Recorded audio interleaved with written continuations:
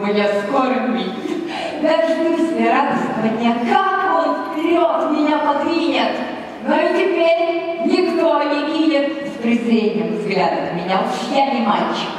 Уж на глупый могу свой узя защипнуть. Я важен, как старик беззубый. Вы слышите? Мой голос грубый. Попробуй, кто меня толкнуть.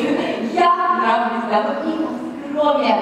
И между ними одна, и гордый взор ее так томен, и цвет ланит ее так темен, что жизни мне милее она. Она дорога, властолюбива, я сам дивлюсь ее и ужас, как она люблива. Зато со всеми горделива и мне доступна она. Вечером она мне. Ты думаешь, что если